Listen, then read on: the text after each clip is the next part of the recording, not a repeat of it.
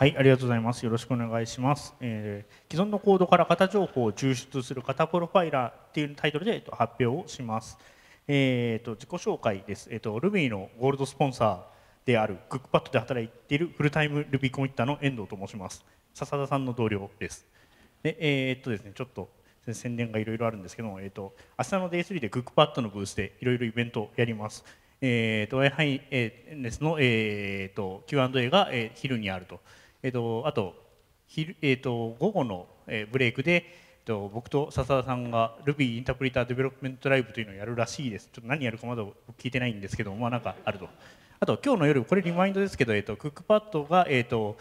えーまあ、主にグローバル向けっていう感じなんですけど、えー、とパーティーやるので、えー、と一緒に来たい人は18時40分に来てくださいという、えークックパッドのブースに来てください。はい、以上です。でそれから、えー、ともうこれも告知なんですけども、えー、と6月3日日曜日に、えー、と超絶技巧インターンという技巧を凝らして役に立たないプログラムを作る方法を学ぶインターンというのを仙台ここ仙台でやる予定です。えー、と参加資格はちょっと学生のみってなっちゃうんですけども、えー、と6月3日にあの空いてるっていう人は僕に声をかけてくれるかもしくはクックパッドのブースに行って参加したいですっていうのを言ってくれれば早めの勝ちで数人だったらまだギリギリ入れるのでどうぞお越しください。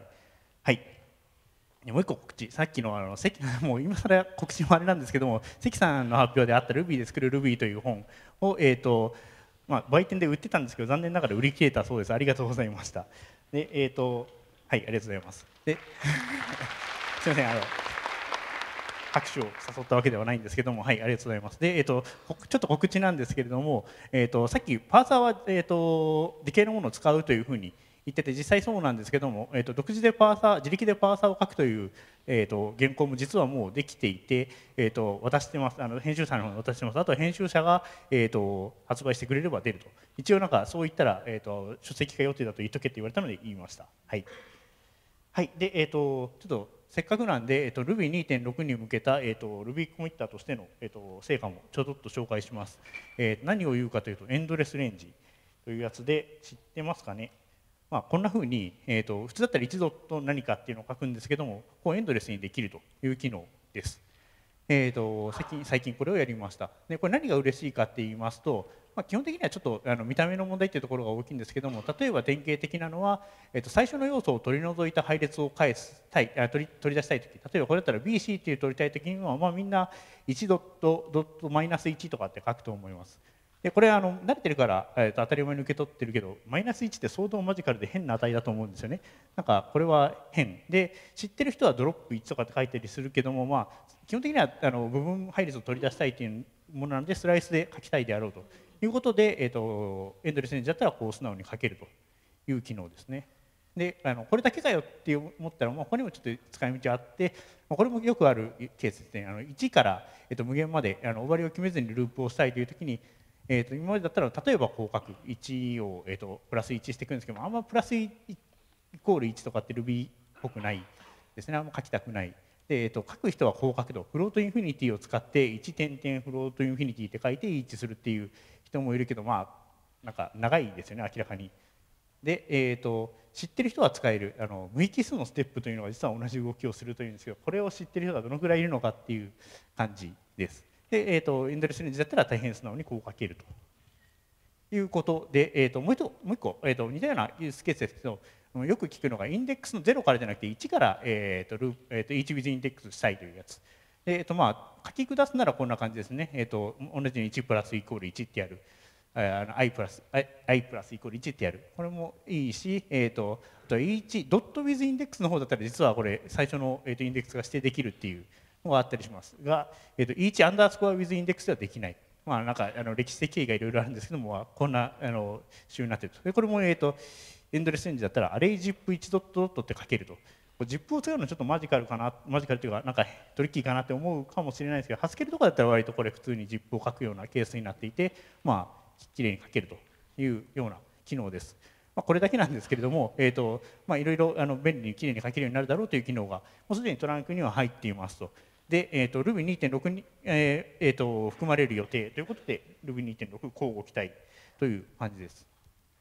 でですね、エンドレスレンジっていうとビギンレスはどうなのっていうふうに思うかもしれないとこんな感じですよねあの点々1でもこれちょっとなんかイーチした時どうなるのかいろいろ議論の余地はあるのとパーサーを書くのがすげえ難しいだろうと思ってたんですけども昨日僕がオフィシャルパーティーに行かずにパッチを書いた生活で昨日やったら書けたっていう。ということで、まあ、もうすでにこれは実装ができそうだということなのであのあとは松本さんがどう言うかなというようなところになっています。はいというところで前置き以上ですみません長かったですね。えーと、ということで今日のテーマ、えーと、Ruby3 のタイプになります。えー、タイプちなみにタイプといえばこの本ですよねなんか型の教科書といえば、えーと、タイプ3でプログラミングランゲージってこの本で、まあ、僕が訳したりしたんですけどもまだこれは、えーと、書店の方にあるのでもし興味があったら買って、えーと、今日だったら翻訳者の住井英二郎先生のサインをいただける可能性があるいればという感じです。はいでえーとまあ、これはよくてえー、っとですね去年の RubyConf の頃からですねちょっと,、えーと、マッツとかあのスティープを作っている宗太郎さんとか AKR さんとか笹田さんとかあと僕とかで、まあ、あの Ruby3 の方をどうしようみたいな会議を少しあのちょろちょろしてました。でえーと、この辺隠れた会議やってるって言ったらなんかあの勝手にこっそり裏で飯責めしまおうって思われたら嫌なんですけどそうじゃなくて、えーとこれの目的は基本的に松本さんがその Ruby3 のタイプシステムをどういうふうにしたいのかっていうのがなんか、まあ、時々基調講演とかはされるんだけども、えーと、実際どういう要求仕様があるのかっていうのが見えてこないっていうので、まあ、それを聞き出すというのが主な目的でした、まあ、あと妥協を引き出すというのもこっそりした目的でしたが、まあ、あんまり妥協は引き出してないという感じですよね。で、えーとまあ、あの密室で決めてるわけじゃないという証拠として、まあ、今のところ分かってきている要求仕様というのを、えー、と今回あの皆さんにあの共有したいと思います。はいでですね、えーと、アジェンダです。えーとまあ、Ruby 型がない型がないって言われてるんですけどあの結構あの意外に型システムの提案というのはされてきている感じなので、まあ、すでに提案されている型システムを、えーと、ざっと一巡りしたので、えーとまあ、サーベイして、えーと、ましたで、えーとまあ、それの中で、まあ、基本的には実装が公開されているものを中心に見ていったんですけど、まあ、それの、えー、と共有共有というか、まあ、なんだろう会議の時にそういう話をしたのでそれの紹介です。であとその話をしていくうちに出てきた TypeDB っていう、まあ、Ruby3 のキーコンセプトなんじゃないかっていうような話を少しします。まあ、といってもこれ実は1週間前に出てきたコンセプトなんで確定でもなんでもないという感じなんですけど、まあ、共有します。はい、で最後に、えっと、この TypeDB っていうエコシステムを作る上で、えっと、必要になってくると思われるタイププロファイラーでの、まあ、ちょっと試作検討しているところがあるので、えっと、紹介しますというような内容になります。ということで1つ目は、えーと、Ruby の型システムを名乗る者たちの、えーと、ざっとしたサーベイみたいな内容になります。でえーとまあ、型がないと言われてるけど、えーと、型関係のシステムっていうのは結構最近で実際公開されているものにしようってもいろいろあるなという感じですね。えーとまあ、スティープは、まあ、さっきの発表を聞いた方も多いかもしれませんけど、えーと、スタティックなタイプチェックをするもの。で RDL っていうのがあると。RDL は、えー、となんかスタティックだけでもないっていう感じなので反あの性的な感じのタイプチェックをするものです。コントラクトレビューは結構使ってる実際に使ってる人もいるのかなと思うんですけどもダイナミックチェックをするものですね、えっと、アーギュメンあのメソッドに渡される値とか返り値とかを、えーと、見てどんなクラスなのかを検証するというもの。であとドライタイプスもタイプシステムって主張してたんですけどこれもちょっと制限されていて、えーと、型付きのクラスが、えーと定義できるようなフレームワークみたいなものですでタイプインファレンスはちょっとえー、違うものになっていて、えーと、去年の Ruby 会議で発表があったやつなんですけども、えーとまあ、動的解析、まあ、つまりテスト実行をしながら、えーと、型情報を抽出するというようなものになってます。で最後に、えー、とソルベ昨日出たやつですね、えー、とストライプがやってすごかったですね。あれ本当にもうよくできていてなんか何やればいいんだろうっていう感じの完成度ですごかったですけど。まあはい。えー、ということでこの中でですね RDL っていうのを、えー、と知ってる人います？知ってる RDL 知ってる人手を挙げて。ですよね。なんかほとんど知名度がないのがびっくりなんですよね。なのでちょっとこれを重点的に説明したいと思います。えーと、RDL ですね、えーと、アカデミックな世界だったら間違いなく一番有名な、えーと、現時点で一番有名なプロジェクトになっています。メリーランド大学のジェフ・フォスター先生が、まあ、昨日あのストライプのやつにも紹介してます言及してましたけど、えー、と作っているプロジェクトでウップスラに PLDI にポップルにもなんかあの名だたる、えー、とトップ緩和ですガンガン通しまくってる、えー、とプロジェクトです。で、えっとまあ、でもそれでいてその研究だけのものではなくてちゃんと実装も公開されていて、まあ、使えるものになっているということで、えっとまあ、これ試してみないではないだろうと思って、まあ、あのその時々会議をやってた時の最初のお題として僕はちょっと,、えー、とやってみたとで実装がせっかく公開されているのでその時々名前を聞くオプトキャロットっていう Ruby3 用のベンチマークプログラムを、えー、と使って実際にそれに型注釈を書きながらどんな体験が得られるのかっていうのをやってみたという、えー、とことをやりました。まあそれを、えー、と紹介します。えーと、RDL の基本としては、まあ、これがオプトキャロットの、えーと、ソースコードのところに対してまず最初に RDL のための、えーと、リクワイアをするとそれから型注釈を有効にするための extend をするとで最後に型注釈をこんなふうに書くと、まあ、型注釈書いちゃってるのでもうダメだろうなっていう感じはすごくするんですけどもまあこういうものですと。でですね、型注釈の意味は、まあ、あのプログラマーなら大体わかるかなっていう感じですね。あのこれもすごいあの簡単で、えーと、 Array of String を optional に受け取って、えーとまあ、ここでは self を返すとしてると。 initialize メソッドは常に self を返すように、まあ、書くということで、まあ、こんな感じに書くと。えーと、これ最後にタイプチェックに、えーと、シンボルのコールっていうのを渡しているところがちょっと特徴的なところで、これは、えー、と型チェックをどのタイミングでやるかっていうのを制御するための、えー、指示です。で、えっと、コールって書いたら、えっと、このメソッドが初めて呼ばれた時にチェックされると。あれなんですね、あの完全性的ではないので、メソッドを、えっと、実際に実行しながら、えっと、検証していて、どのタイミングされ、検証されるかというと、メソッドが呼ばれたタイミングであるというのが RDL の一番の特徴です。でも他のも選べて、Now って書いたら、そのメソッドが定義された瞬間、def 命令が実行された瞬間に、その中身を、えー、とチェックする。あのようなやり方になります。他に、えっと、2義のシンボルを渡しておいて、後で RDL do タイプチェックにそのシンボルっていうのを渡すと、えっと、この do タイプチェックっていうのは呼ばれた瞬間に、えそのこれの指示が書いてある、えー、形注釈を全部チェックするというのもできる。で、ここに nil を渡しておくと静的検証をしないという意味になります。で、えっとまあ、そのメソッドの中身自体は見られないけどもそのメソッドを使っている他のメソッドから、えっとまあ、あのそのメソッドを呼んでるっていう時にはこの型注釈の情報をあの信じて型検査をするようになると。で、えっと、性的にはチェックしないんですけどランタイムチェックはするっていうのがちょっとハマりどころでこれは後でちょっと紹介します。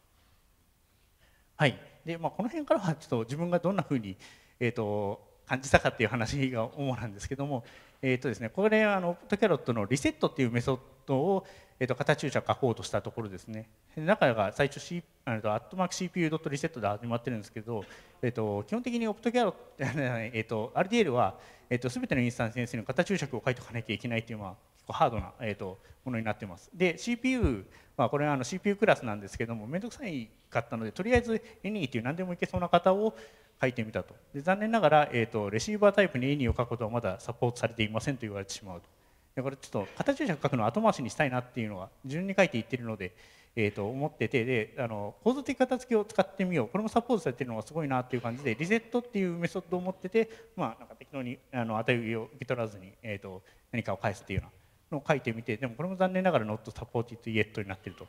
なかなか厳しいなっていう感じだったんですけど、まあ、なのであのしょうがないから、まあ、CPU で書くかっていうふうに書いてみたら、まあ、当然なんですけどまだ CPU にリセットっていう形注釈がないのでやっぱりリセット分かりませんって。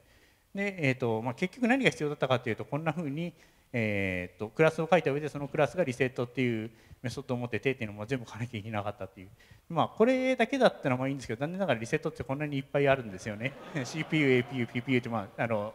まあ、オプティキャルトの中であるモジュールの一個一個リセットしていかなきゃいけないで、えーと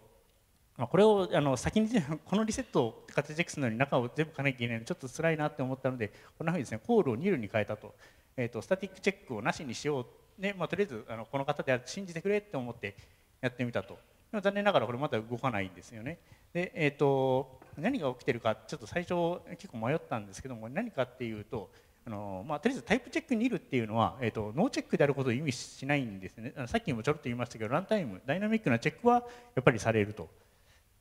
であのボットっていう、えー、と方を適当に選んで書いてしまったんですけどこのボットっていうのの意味は、えーと、リターンしないという意味。なんですね値を持たないという意味で、えーとまあ、具体的に言うと例外が投げられてこのメソッドはあのまともにリターンしませんとか、もしくは中でエグジットしてしまうとか、まあ、そういうことを表す方であったと。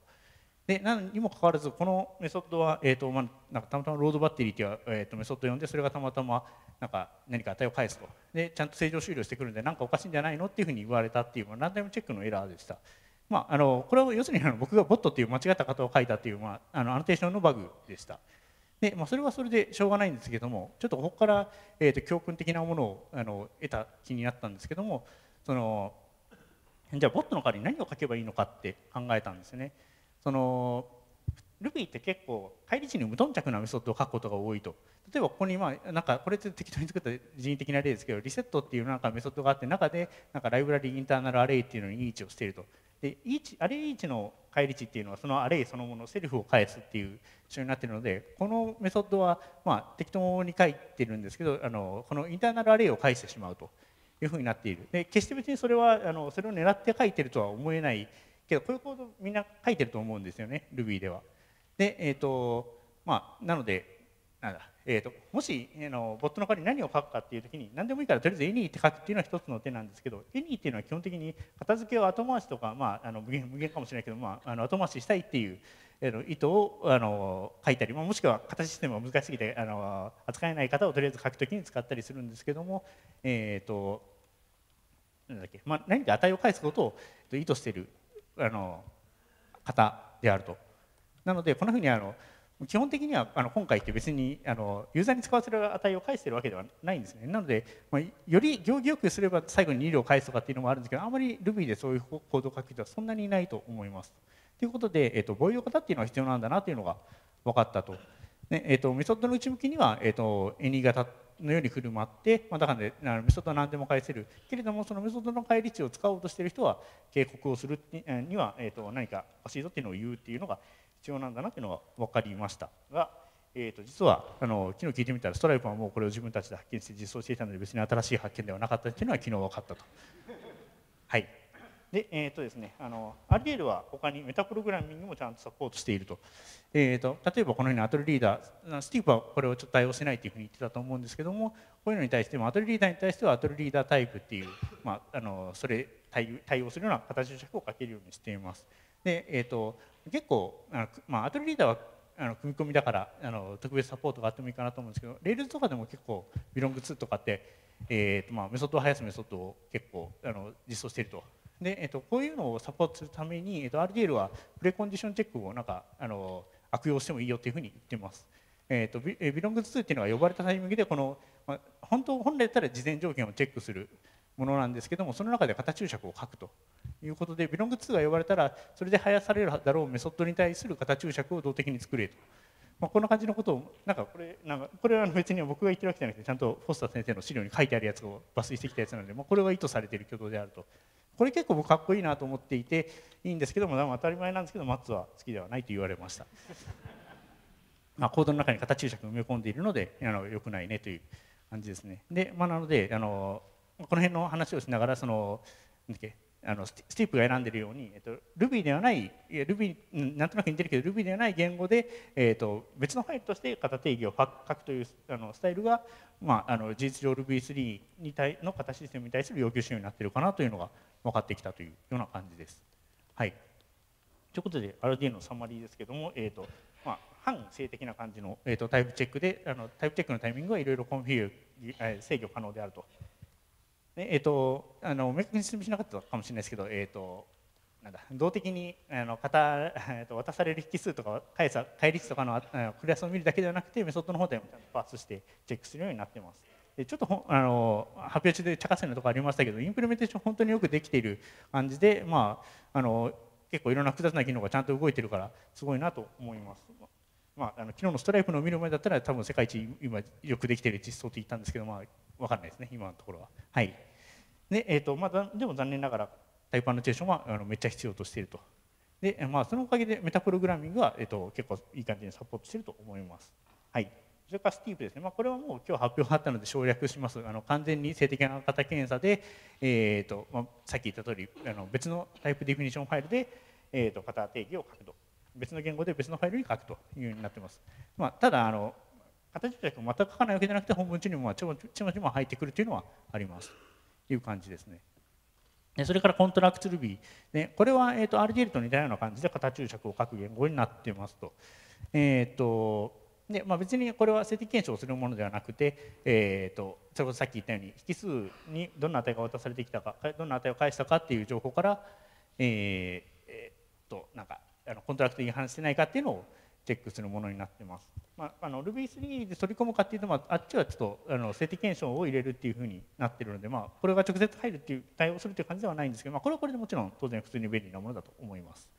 はい、それから dry-types も同じような感じですねこれはもうちょっと制限されてて、えーと、型付きのフィールドを定義できるものになってますと TypeStruct がも多分同じようなものに見えたんですけどもこれの型システムというほどのものではないよなと思ったりもしたんですけども、えーと、このフィールドに対して何か型の違うものを入れると、まあ、あの警告内でエラーなりが出るような感じのことができるというようなものになってました。はいで最後に、えーと、タイプ Ruby タイプインファレンスですね。えーとこれはトレースポイントっていう、まあ、モニタリングの API の下でテストスイートを実行することで各メソッドに実際どんな値が渡されているかでどんな値を返しているかっていうのを追いかけて、えーと、その情報を集約してこのメソッドはこういう方を、えーと、受け取ってこういう返り値を返すだろうというのを集約するもので JetBrains の人たちが作っている RubyMine で、えーと、使われることを、まあ、基本的にあの意図して作られているものでした。去年の資料で、まあ、こんなのあったので覚えている方も多いかもしれないですね。あのまあ、いろんな人が各自で、えーとえー、Ruby タイプインファレンスで型情報を抽出してそれをみんなの、えーと、クラウドに集めてあの型情報を共有しようというような構想を掲げてたやつでしたかけられてました。はい、ということでサマリーです。えーと、Ruby の、えーと、Ruby3 のタイプシステムで松本さんが、えーとまあ、こんなふうにしたいと思っている要求仕様に対して一番近いのがスティープであるというのはこの図から分かるかなと思います。まあ、目的が、えー、と基本的にはスタティックなチェックで、えーとまあ、ターゲットは、えー、と引数とか倍率だけを見るものではないメソッドバディであると。で、えーと、型定義がセパレートされているというのがなんか思った以上に重要なあの松本さんの琴線に触れているというのが分かったというような内容でした。はいでそこから出てきた、えーと、 type DB というさっきも言いました1週間前に出てきたアイデアが、えーと、Ruby3 の key type system の key concept になるんじゃないかというのを簡単に紹介します。えーとまあ、さっき言いました通り、えー、と separated な、えー、と型定義ファイルというのは良いとされていると。なんだけれどもこのアプローチだとメタプログラミングでそのメタプログラミングっていうのはそんな複雑なものじゃなくて attr_reader とかやってるところに対してはちょっと扱いが難しいというのが、えー、と予想されてでそうすると、まあ、おそらく多くのユーザーは、えー、型定義ファイルを何らかの方法でプログラムで制定するようになるんじゃないかというのは予見されると。もともとそういうふうに予見されてたらそれをサポートするような仕組みにできないかなというのを話してました。であともう一つの動機っていう感じなんですけど、えーと、今型定義ファイルってまあ基本的に人間が手が書く前提なのであんまりあのなんか機械機械が管理した方がいいような情報というのは持てるようなことは意図してないと具体的にはその型定義とあのコードが別のファイルになっているので、えーと、型定義の方に、えーと、コードのどこのメソッドなのかという情報まあ、単純に言えば、えーと、ラインナンバーとかを、えー、と残しておきたいだろうとそうすれば、えー、とタイプエラーのレポートとかが、えー、と読みやすくなると。で、えーとまあ、ただそのあの行番号とかの位置関係を人間が手で管理するのはまあ絶対無理だっていう感じで、えーまあ、そこでタイプ DB ですと、まあ、本当にあの別にこれ何か実装があるものでは全くなくてイメージっていう感じなんですけど、えー、タイプ DB っていうところからスティーブの型定義ファイルを生成してでスティーブにあの型チェックをさせるようにしようと。でこのタイプ DB の情報は他にも例えば Ruby インタープリターに直接渡して何かその型エラーに関するような実行時の型エラーに関するようなベターなレポートを提出するようなものにも使えるかもしれないし、まあ、ID にも提供できるんじゃないかとかでさらに、えーと、スティーブに限らず RDL とかソルベの型アノテーションにも、えーと、変換できるんじゃないかっていうふうに構想がありますと。はいでまあ、あの別にこれははいそうですかっていう感じなんですけどでタイプ TP はじゃあどうやって作るかっていうところが問題になります。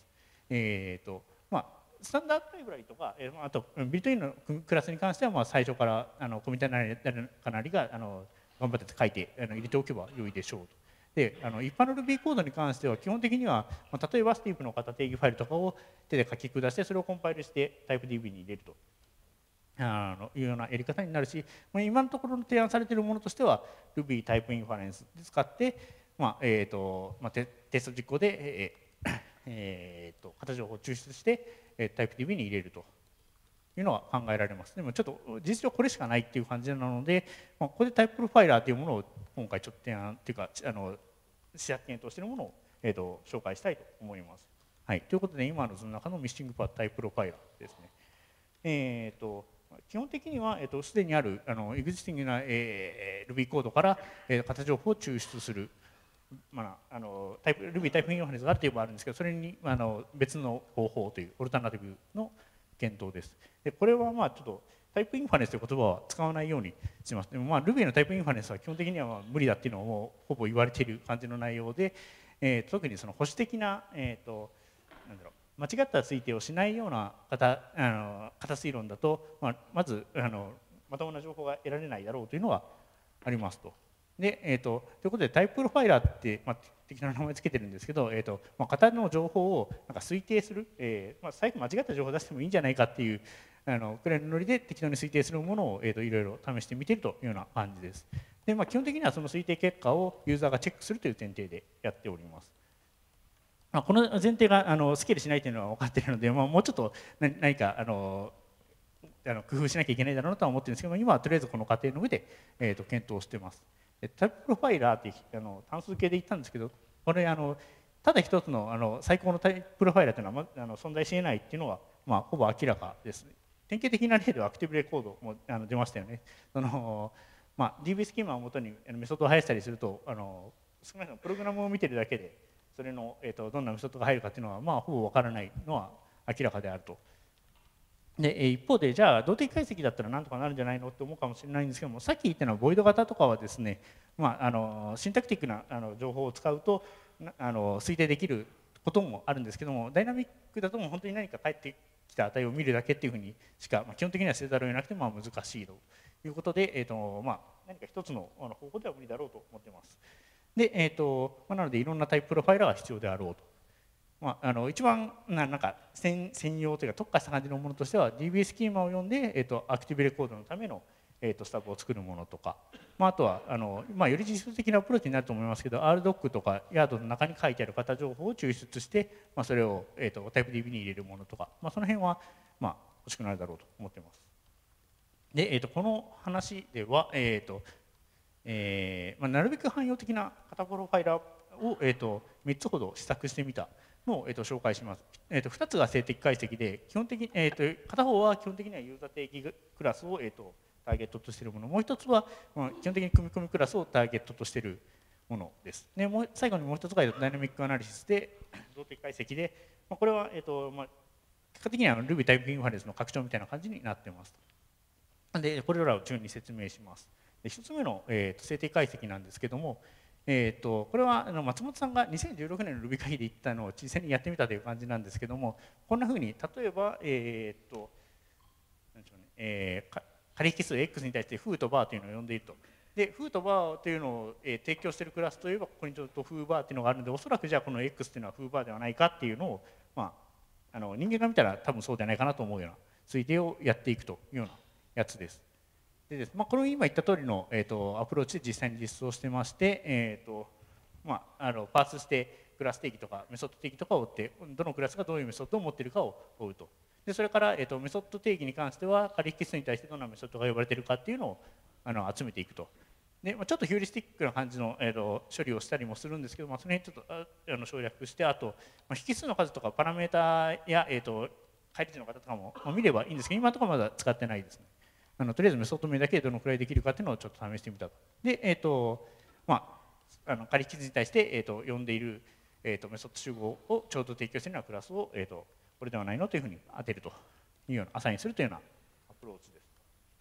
でこれを使って、えーとまあ、 WEBrick に対して、えー、とちょっと簡単な実験してみました。 user-defined なクラスが多そうなプロジェクトとして WEBrick を選びました。まだちょっと残念ながら、えーと、定量的な評価とかいうレベルに至ってなくて、えーとまあ、いっぱいあの変な推定とかが出てくるのでそれを見てどんなふうに間違えたのかなというのを、えー、と集めて、えーと、有望かどうかを検討してみたというような段階です。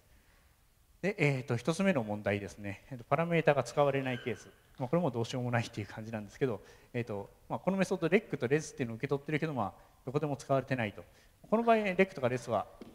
まあ、ついてできないと。でこういうケースは残念ながらここだけと得意なケースという感じじゃなくてもいろんなケースでそういうふうにこのあのこれメソッド集合を表してるけどメソッド集合からなので特にどれとは言えなかったっていうようなケースですね。まあ、あのメソッド少なくとも1個 ,1 個も当たらないと,、えーと、とあの他のクラスには割り当てないっていう、まあ、 heuristic 入れてるので、まあ、こんな感じの結果になっていると。それから問題2としては、えーと、 req っていうのが、えーと、 Response or Request になってしまったケースですね。でこれは、えーと、このメソッドの中であのレリクエストアンダースコア URI というメソッドをレックに対して呼んでいると。で、えーと、レスポンスもリクエストも、えーと、このメソッドを提供しているのでどっちかじゃないなというふうに推定してしまっているというようなケースです。で、えーと、これ人間が見たら明らかに間違いだなってすぐに分かるんですよね。でまあその、えー、なんで間違いかって分かるかっていうとレックっていう名前なんだからリクエストだろうっていうのは人間なら分かると。でまあ、この、まあ、直感を、えーと使ってなんかなんとかできないかなっていうのを考えてみたのがこれであの一通りプロファイルが終わった後に仮引数名がこれだったらこれですっていう対応表を作ってみるとこの頻度を集めて、えーと、推定結果を改善していくと。あの確信度が高そうもうこれ本当にすごい適当なヒューリスティックでやってるんですけど確信おそらくこれ間違ってるだろうと思われるところに関してはこのマッピングの方を信じて置き換えていくということをやったら、まあ、治ったと。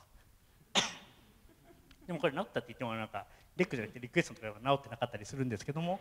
今のはまあちょっとした問題という感じだったんですけど、えー、ともっと大きな問題があってこのアプローチって乖離値の方が推定できないんですよね。基本的にはあの仮引数の、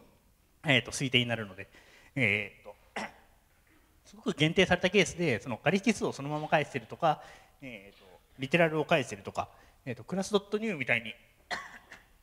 明らかにこのクラスを返してるっていうのが分かるケースとかあとはタイプ DB にすでに入ってる、えー、と式を、えーと、返せるようなケースは、えー、ついでできるけれども他のケースはちょっと難しいと。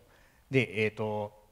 あのメソッドの開示を実際にどんなふうに使っているかという情報から推定するという点もあるんですけどこれ基本的に、まあ、インタープロシージャルなもしくはホールプログラムのアナリスになって、まあ、一気に面倒くさそうだなという感じでまだできるかもしれないけど、まだちょっとやってないというところです。はい、